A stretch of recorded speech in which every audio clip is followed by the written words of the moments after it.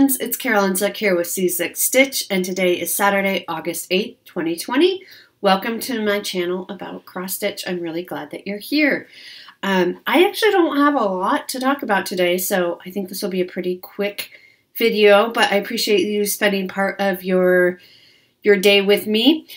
Uh, first up, somehow some music got uh, put in the middle of last week's. I had posted two videos last week. One was a flip through, and one was my regular floss tube. And I had a couple of people point out that all of a sudden my music started playing right in the middle of both. I don't know how that happened, uh, so I apologize. I was going to re upload the videos, but if I did that, then I would lose all the comments. So I just left it. So I'll try to make sure that that doesn't happen again. So my apologies for that. Next up, I just want to um, mention again uh, with my friend Robin, who is Bird's Eye Stitcher uh, here on FlossTube. We started a magazine monthly challenge group on Facebook. Uh, so we've had a lot of people join over the past week, which is really exciting. It's going to be a really fun group. We don't actually start until September 1, so you have plenty of time uh, it'll be linked down below along with the other two groups uh, that I run, CZookStitch, which is just a general cross stitch group, and then Friends of Hawk Run Hollow, which is for anybody who loves or is working on or just likes to see Hawk Run Hollow pieces as well. So go ahead and check those out. I'll have them linked down below. So let's just jump right into it. I've had no finishes this week, um, which is not surprising. I did have two new starts though. So the first new start is uh, Princess Ilyana. Uh, it's a Mirabilia Nora Corbett. And this is a new, I think it's a new release from earlier this year. And I just think she's beautiful. So I got the chart and the floss pack and the bead pack all from Stitchery Express, as well as this beautiful um, fabric. Now this is a 16 count called Palace uh, fabric, uh, Palace in Periwinkle and it's by Fabric Flair. I have to make sure there's a cat, not not a cat behind me when I back up. So first of all, I'll show you, this is my start. And this pattern uses all of the new, the 1 through 35 DMCs. And so a lot of them are in this right here. And I think it's so pretty. So pretty. Uh, so this is the fabric. So let me open it up. So this is, it's a ballroom fabric. I am not 100% sure that I started in the right spot. I probably should have started with her feet or her head instead of the um, where I started. Let me show you on this. I started back back here um, because I was looking at the placement of her on the fabric overall, and I was trying to determine where this side would end up. But now what I I might actually go back when I pull this out again, which probably won't be until next year, honestly. I might go up and start on her face and then rip out everything I've just done because the face I think is the most important. The feet are important as well as to where they land. However, the ballroom has a lot of floor, so I'm not as concerned about that. So I probably should have started in um, with the face. So I will probably go back and, and do that just to be safe. Um, it's better to rip out this little bit that I've done what I did maybe two or three hours. I'd rather rip that out now um, than having it look strange at the end and having to rip out everything. So that fabric is 16 count periwinkle or Palace Periwinkle by Fabric Flair and it's from the Stitchery Express website as well. So that is a really fun piece. It's beautiful and it's really fun to use the new DMCs, which I didn't have at all. So the other new start I did is I did start on uh, Harbor Haven by By the Bay Needle Art, number scene 10. So again, this is a terrible, this is when my color printer was running out of ink, and now I just have a black and white printer. I have a new printer. Um, but this is what it looks like, or will look like for scene 10 out of 12. So we are getting very close. So I started this, I think, on Monday, and this is one is going so fast. I don't know why. I think because there's big blocks of color. And I think that makes a big difference in this one. So from the yellow sailboat over is basically um, scene 10. So I've got all this bottom stuff done. So all I have left to do, so this is the start of the tree trunk. So I just have to carry the tree up and there's several leaves, which I have to do up here. And then there's two little clouds. And then there's a little bit of back stitching, some French knots down here, and then it's done. So here, I can show you on here what I have to do. So I have to finish up this tree and those leaves. And I don't think they came through on this printer, but there's a cloud there and a cloud there. And then a little bit of backstitch throughout, but not much, or straight stitching really is really what it is. So I think this will get done this week. So this is great. So this is going really, really fast. This is probably the fastest one and I love it. I love how the big blocks of color and the, I just, it's such a great piece. And then once I finish that, we'll be have two scenes left and this project will be completely done. I am stitching this on a 32 count Belfast linen in vintage smoky white, which I love. And then the WIP that I worked on this week is the temperature tree by Stitching Mommy. And I know I explain this every week I show it, but just in case we have anybody new who hasn't seen this before, this is a temperature tree where each branch represents a month and each leaf on the branch represents um, a day of the month. And I'm tracking the high temperatures for Portland, Oregon. So every day I just write down uh, what the high temperature is, and then there's a color code. So we are in August, January, February, March, April, May, June, July, August, which is right over here, which is this one. So um, I had two weeks to catch up on in terms of leaves. The leaves don't take very long. Um, usually I can do a week's worth of leaves in 20 to 30 minutes, depending on how many color changes. So this is July, and this day was our hottest day of the year so far. So that was 100 degrees. Um, and then it was hot, you know, of course, right around that um, each day. But yeah, so we hit 100. So we got, I think that's the highest on mine. I'm using like a varied temperature. Simon agrees. He's been very meowy this morning. Well, actually, not until I started filming. But um, and then this is the August branch. I haven't done any leaves on that yet, but the August branch is ready to go. So moving forward, I'll just have to do the leaves, which won't take too long. I do these on Sunday.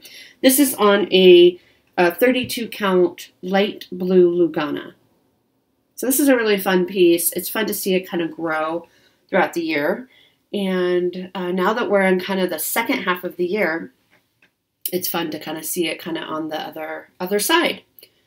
So that's what I worked on. I spent most of my time this week working on Harbor Haven number 10 because now that it's so close to being finished, I'm really motivated to just get it done, get it done.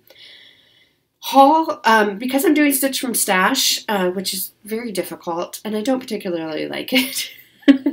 um, I don't have a lot of haul. I did get some DMC in for some of the magazine challenge projects that I'll be working on, but I'm not going to show that because it's just DMC uh, that's all I've gotten in. So pretty boring there, but necessary.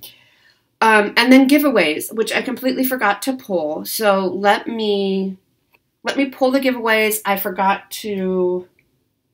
I knew I was forgetting something. I completely forgot to um, draw winners and all that. So let me go pull the giveaways, find giveaways to give away for this week, and then I'll be right back. All right, I am back. Um, it probably was just a second for you, but for me it took a few minutes, but I'm together now. I for, realized that I forgot um, a little bit of life update that I forgot to mention at the beginning because I've been quite, I've been feeling quite scattered um, these past couple of months, and um, a reason uh, on top of, you know, just pandemic and all of that that um, I think makes all of us feel a bit scattered um, and as many of you know, my house is on the market. Um, it's going slowly, so um, I'm hanging in there.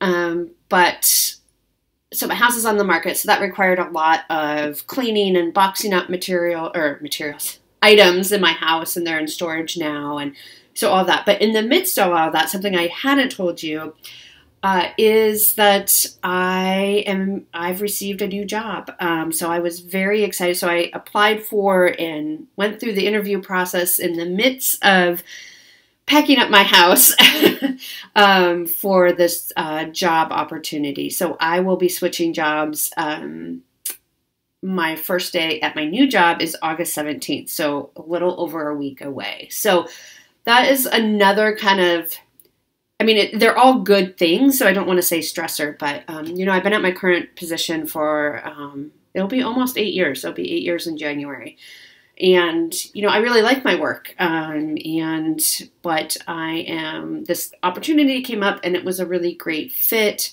Something I'm really excited about doing. So I'll be switching um, universities completely um, so it'll be a big change, but I'm excited. But it's just kind of one more big life change that's happening all at the same time.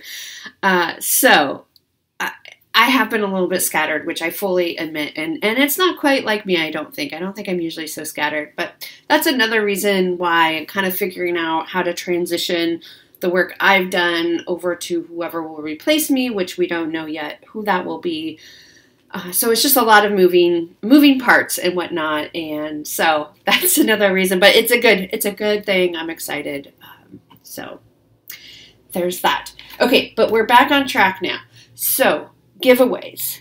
I have not yet heard from sherry eccles. So sherry you won this two videos ago and i do need your address um, so if you can send me your address, I'll get this in the mail to you. If I don't hear from Sherry by next floss tube, I'll go ahead and draw again. Okay, uh, from the same same pool of people who said they wanted this. So if you know Sherry or Sherry, if you're watching, please email me at czookstitch at gmail.com. It's in the description box below, and I can get that sent out to you. Michelle, you won you won um, the Scatter Christmas, and I still have it sitting here. I haven't gotten it mailed out yet, but I did just get new envelopes delivered from Amazon, so I should be set, and I will get that sent out to you this week. Okay, so giveaways. I was giving away this summer wishes chart, very cute. This came free in a magazine. And the winner of this, I love this name, Sprinklestein Stitches. So I'm not sure what your official, your real name is, but Sprinklestein Stitches, you won this. I love your YouTube name. Go ahead and email me your address so that I can get this sent out to you. We have this um, North Pole News by Pickle Barrel Designs and Lynette Peters. Lynette, you won this, so I will get that shipped shipped out to you in Australia. We gave away the stockings from Lizzie Kate, and these have the little, there's some little beads and charms here. And Kay Lowry, you won this. So I do have your address, so I'll get that sent out to you. And on my, um, I did a flip through of this, and on the flip through video, I did a giveaway. So you had to watch the flip through video and comment over there to win this, but I'm going to announce it here. Um, Sharon Lama- Lamassini, Lamasny, sorry about butchering your last name, Lamassini. Um, she won this and she said that August is her birthday month. So happy birthday. Uh, send me your address and I will get that sent out to you as well. Now we have four little ones for this coming this coming video. These are going to be quick stitches for you. There's four. You, you can only win one of them, but Four little ones that should be quick stitches for fall and autumn. So if you're doing any challenges or anything like that, these could be good for that. So the first one is a Lizzie Kate snippet. It's Autumn ABCs. I love that pumpkin. And so we'll say autumn is the keyword. A-U-T-U-M-N. It's called for is Weeks Dye Works, um, but they have DMC and Anchor um, conversions as well. Next up is by Bent Creek. It's called Blessings Abound. That's really sweet, and that's a really nice pumpkin as well. And this one does have some marks on it, just some check marks over the um, floss names, but you can still read it just fine. and the chart is perfectly clean. Uh, it calls for DMC or Gentle Arts. So if you would like to stitch this, say blessings, plural. Another Bent Creek um, from the Littles. It's called Tiny Tim Turkey. Isn't he cute? Oh, I think he's just adorable. And this calls for a Weeks Dye Works, but has DMC conversion. So say turkey, something about a turkey. And these are so small, you could easily get these done. Yeah, this stitch count is 24 by 24. I mean, that's a couple evenings, maybe, if not one evening's worth of work. So you can easily get these done in time for the fall, this fall. So this next one, this last one is by Homespun Elegance, and it's uh, bits and pieces, and it's called Harvest Home. And this picture, it's a real, yeah, it's a real picture. It's kind of hard to see, but um, has a tree and the pumpkins and the cats, and this says Harvest Home. The words say Harvest Home. And I'm trying to see what the it's uh so this is a button. It's not included in the chart. It's called our old brass house button. And I'm not sure. So this is copyright 1998. So I don't know if that button is still available, but um, you could replace it with something, you know, a button or stitch another tree or something in there or a pumpkin. It calls for DMC. Um, yeah, DMC is the called for, but they also have anchor and coats. So if you'd like a chance to win this, say harvest. And usual rules, you know, you guys are so great at knowing not to say giveaway or free or anything like that. Um, so yeah, so those are the giveaways for this week. And yes, so plans. Plans for this coming week. I'm going to finish Harbor Haven. That's my goal for this week, is to finish that up. I'm hoping it will only take me two or three more evenings worth of stitching so that I can move on to other things. I am wanting to do a four hour rotation of Holly Angel by Lisa Leanne Designs. This is from Just Cross Stitch Christmas Ornaments 2018 issue. And I started this during Jolly July, and I have part of a tree. Um, I have to put the trunk, and there's it's in a pot. So this is one that I want to. This is on 14 count light blue Aida.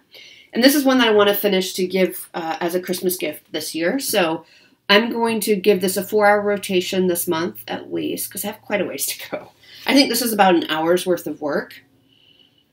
Um, so I'm going to give this a four hour. So I have two that I want to finish in time for Christmas this year. This is one of them, and the other is the Is It Summer or Spring Yet, uh, which is embroidery. So I'm going to try to give this at least four hours a month until I get it done. This one is a little more, a little more intricate, and it does call for um, the Rainbow Gallery fuzzy stuff, which I've never worked with, and there's a little bit of Kreinik in there as well. Um, but I think it'll be really cute when it's done. So I'm going to do a four hour rotation on this temperature tree. I'll get caught up on that. And then if I have time left over, so for WIPGO, my plan for this month, so I have three WIPGO projects this month. So the center square of the WIPGO board, you can use it as a free space or you can put a project in there. If that free space was called, uh, Jessie Marie called a third um, a third number so that those who had free space would still have be able to work on two projects. But because I put a project in that free space, I have to work on three. So that for me, each project is going to get that's called is going to get 10 hours a month. So that means I have 30 hours. So I will be working. So my plan is to work on each project the next three weekends and try to get 10 hours in over that weekend to for the WIPGO pieces. So if I finish Harbor Haven, Temperature Tree, and get my four hours in on Holly Angel, um, I will pull out either Death by Cross Stitch and get started on that for the 10 hour rotation, or I'll pull out Spring at Hawk Run Hollow and work on block two because I do want to get block two done this month as well. So there's a lot going on. And next weekend is going to be quite busy. Um, it is my weekend in between jobs. Uh, so, you know, I'll be finishing up my current job and then have a weekend and then right away starting my new job. I wasn't able to take time off just because there's just so much to do to finish up at my current job, which is fine. Um, and also, my cousin will be in town that weekend and we'll be having another open house that weekend. So it's going to be a really hectic weekend. So I'm not sure when I'll be able to film. I might um, try to fit it in on Friday, so you might see me a day early, um, but we'll get it figured out. So that's what's going on this week. Uh, thank you so much for being here and for watching, and I will get caught up on comments, and we'll see you next week at some point. I'm just not quite sure when. All right, take care, everyone. Bye.